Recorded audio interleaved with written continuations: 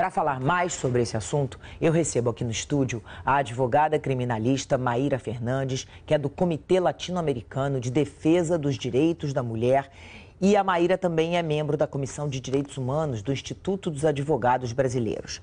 Maíra, bom, primeiro, muito obrigada pela sua participação. Obrigada. É, esse crime ele traz uma série de questões, né? Agora, uma das questões principais e com a qual nós temos que aprender a lidar e encarar de frente é essa cultura machista que existe no Brasil. Sim, obrigada é, pelo convite. Realmente é uma, uma boa oportunidade para nós discutirmos isso. Esse crime chocou a todos nós. E é um, é um momento de discutir algo que, na verdade, já acontece desde sempre e a gente não conseguiu mudar ainda, apesar de todos os avanços que tivemos. É, a gente Quando... acabou de ver uma reportagem dizendo que são 11 mulheres estupradas todos os dias. Exato, exato. Os números são assustadores e, e, e, na verdade, as subnotificações são enormes, gigantescas. Subnotificação é gente que é estuprada e não notifica. E não notifica. É claro. a vergonha. É a vergonha. Pode, segundo o Fórum de Segurança Pública, pode chegar de 136 mil a 476 mil casos de estupro por ano. O número é assustador. E nós, na verdade, não conseguimos ter acesso a todos esses casos, porque existe um bloqueio da própria mulher que muitas vezes se sente culpada pelo crime a que aconteceu. Viu a, a menina falando ali Exato. isso, né? É, a sociedade contribui muito para isso, porque na maior parte das vezes transforma a vítima em culpada, em algoz. Então pergunta que roupa ela estava vestindo, se ela bebeu ou não bebeu, é, como é que ela estava, se, por que, que ela estava andando sozinha naquela hora, naquele lugar. Então, a sociedade ajuda muito e, às, às, vezes, os próprios policiais nas delegacias de polícia também. Quando ela consegue vencer a primeira barreira do trauma e ir até uma delegacia, muitas vezes o policial faz essas mesmas perguntas para ela. Ué, mas você bebeu? Como é que você estava vestida? O que, na verdade, nos indica que as nossas delegacias precisam de policiais preparados claro, preferencialmente mulheres, para atender esses casos, é, que tenham uma, um preparo, um curso, uma formação para conseguir acolher bem esses registros. E assim nós conseguimos incentivar as mulheres a efetivamente denunciar esse tipo de crime. Então, isso já é uma primeira barreira, é tentar mostrar para a sociedade que a mulher é sempre vítima e nunca culpada pelo estupro.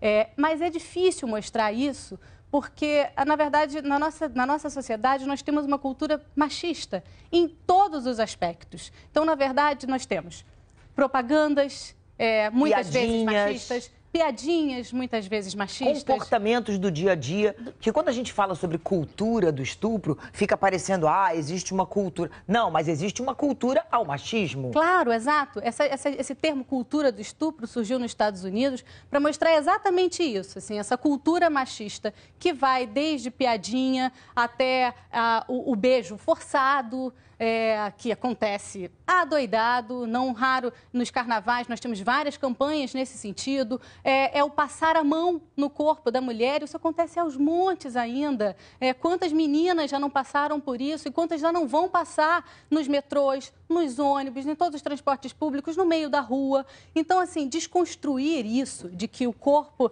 da mulher pertence ao homem e que ele pode fazer com o corpo da mulher o que ele bem entender é o maior desafio para nós realmente conseguirmos diminuir esses casos de estupro. Isso que eu ia te perguntar. Como é que a gente começa isso? Porque vamos aqui, a gente está falando sobre desconstruir isso na cabeça dos homens. Agora, nós temos que lembrar que, na maioria das vezes, quem cria os homens são as próprias mulheres. Então, esse machismo, ele começa na criação, né?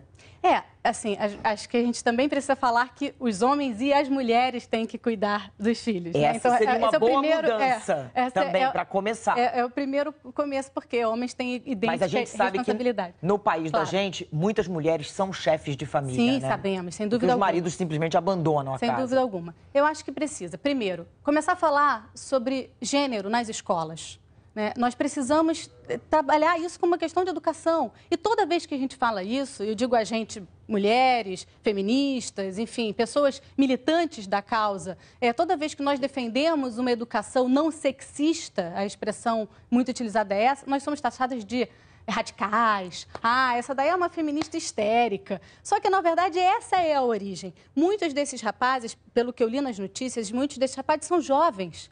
Então, ao que parece, né, nós não temos todas as comprovações, mas ao que parece são jovens. Se são jovens, Que educação nós estamos dando para esses jovens? Né? Então, a primeira, primeira base é essa educação. Segundo, o machismo tem que ser combatido todos os dias, em todos os meios é, seja propaganda, seja novela, seja filme, seja qualquer veículo de divulgação, seja a internet, as redes sociais, elas podem ser muito utilizadas para o mal, mas elas também podem ser utilizadas para o bem. Nós temos que ser intransigentes com a, a, cultura do machismo. Então, a cada vez que receber uma piadinha, eu faço isso. É, eu hoje fiz isso, recebi alguns tem que comentários responder. Contra essa menina, questionando exatamente isso, sobre a, sobre a menina, e eu falei, eu não quero entrar nesse mérito, eu não quero tratar desse assunto, exato. excluir a pessoa. Tem, exato. Nesse caso mesmo da menina, nós vimos, por exemplo, que é, houve relatos de, ah, ela usava drogas, ou ah, ela tinha um filho já de três anos. Não importa. Exatamente. Isso não tem a menor relevância para essa discussão. A menor. a menor.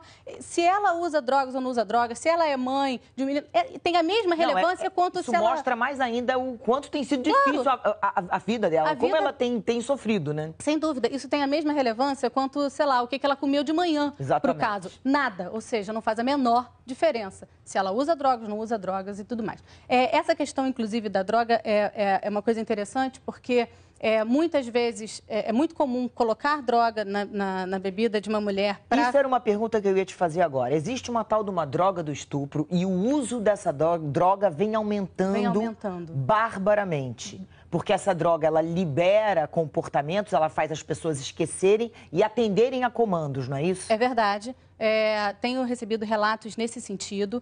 E aí eu fico me perguntando assim, na hora que a pessoa colocou a droga, será que ninguém viu? Será que um garçom não viu? Será que um outro amigo não viu?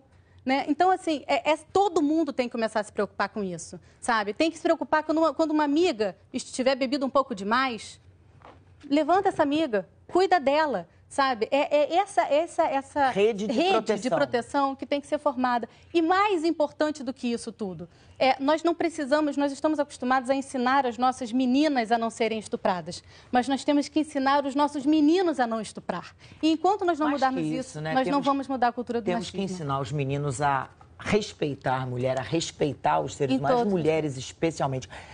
Esse é o problema. É uma questão cultural. E é sobre isso que eu vou voltar a conversar com a advogada criminalista Maíra Fernandes, que está aqui comigo no estúdio. Maíra, a gente está vendo aí uma mobilização nacional, internacional a respeito desse assunto. É, é preciso mudar essa mentalidade, mas a gente vê que em momentos como esse, essa mobilização é muito grande. E aí fica aquele temor do que vai acontecer daqui a dois, três meses, né? Claro. Na verdade, isso tem que ser campanha permanente de mulheres e de homens porque nós precisamos que os homens também falem contra o machismo. Não pode ser uma coisa só das mulheres falando. E que a gente vá, aos poucos, desconstruindo todas essas ideias falsas que circulam mesmo depois de um episódio como esse. Então, por exemplo, vi nas redes sociais, ah, se ela estivesse em casa, isso não teria acontecido. Bom, primeiro que a gente não pode ficar privando a mulher de ir vir. Segundo, que é um dado ainda por cima falso, porque a maior parte dos estupros acontece dentro de casa.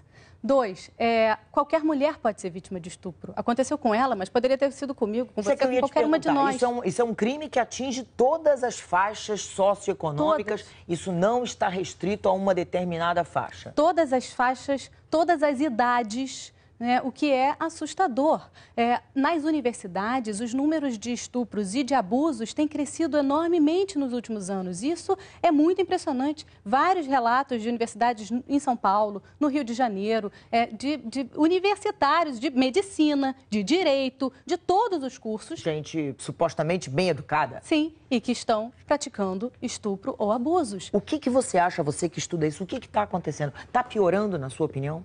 Olha, é, eu não sei se está piorando ou se a gente está começando a ter acesso a esses dados que antes não tínhamos. Né? Porque, na verdade, a sociedade é machista desde sempre. Mas agora nós estamos começando a conseguir ter acesso a essas informações. As pessoas estão falando mais. Estão falando Campanhas mais. Campanhas como essa do Meu Primeiro Assédio é, são muito Sim, importantes. A, a campanha do Meu Primeiro Assédio foi impressionante o número de relatos, porque, como se disse aqui, toda mulher tem uma história para contar né, do, de um assédio que já sofreu e que traumatiza para toda a vida. É importante ouvir a doutora Margarida Presburger falar, porque isso é uma tortura psicológica, na maior parte das vezes, que não se cura nunca.